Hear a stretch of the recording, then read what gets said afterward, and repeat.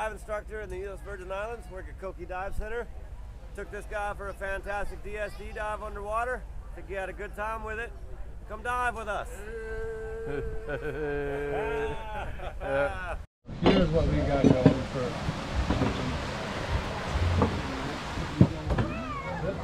So, You ready? we went on our Ready? first We just get to go for an adventure dive. Definitely a fascinating part of the world if you've never been underwater and you've seen those underwater videos on National Geographic things. Oh, Number one God. rule. Never hold your breath. Never hold your breath. If they're still in there when we come back, man, we'll scoop them. Yeah, it's not that deep. Alright. So what we're gonna do here, continue to swim. There's no stopping now. We're continuing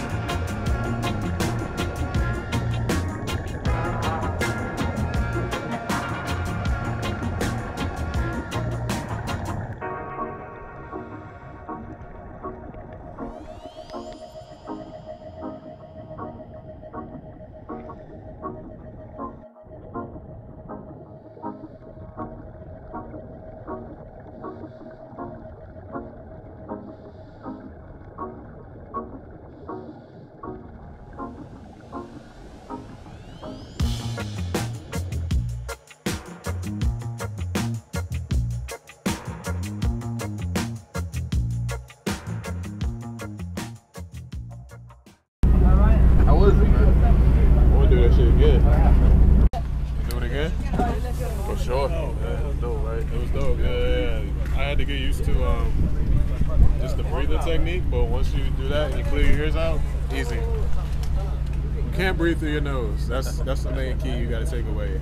Once you get that through your head, you're all right. It's not that big of a deal.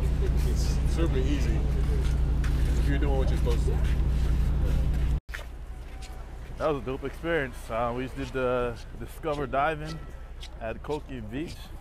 Definitely recommend it. And um, if you go, talk to Squid. He's a dope diver. On the way down, he got bit by um, a, yeah, a, fire, a fireworm. Uh, looked like it tore him up. I want no part of that, but either way, the experience was a good one. It was fun. So at this point in time, we've been here in Coki, we've been to um, Megan Bay Beach, we've been to Trunk Bay Beach, and this one's a lot more crowded than the other two. Um, I think that uh, Magens Bay was getting up there with the crowd, and then um, Trunk Bay was Yeah. the least crowded. I mean, like the girls on the island told me, they said if you want to like party, you know, you come to Coki. It's the turn up beach. Everybody has fun here. Some of them it's their favorite beach, and then Magens is more laid back, right? And then if you want to like not be around anybody, where it's like very chill, you go across on the ferry, right, the red barge, to St. John's, and then you go to Trunk Bay. Trunk Bay, it was, I mean, there was people there, but in comparison, it was barely anybody there. You know, wasn't much going on. It was just like everybody's minding their business, not being bothered by nobody. Because St. John's is, uh, the infrastructure there is a little bit better. The roads are definitely more well done than here in St. Thomas. So it's more of a um, upscale island, upper class citizens, that type of thing. I don't know. I mean, we only saw just a little bit of, of St. John, so Yeah, but it, uh, St. John's is smaller than St. Thomas, though. It take what 30 minutes to get around St. Thomas. Probably take Yeah. 15 to get around St. Thomas. what we didn't have enough time to do was to um, just explore around St. John because we went straight to the beach and that was it. Saw some interesting stuff. If you haven't seen the video, um, then check out the video um, on Trunk Bay Beach, and also check out the, the video, other videos about um, the Virgin Islands and St. Thomas and St. John and so on. So Squid just gave us a lowdown on a local spot to get some good, authentic Caribbean food. So we're heading there next.